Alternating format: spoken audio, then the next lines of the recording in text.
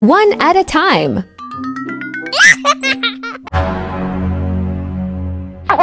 You're still here? Go, man! Oops!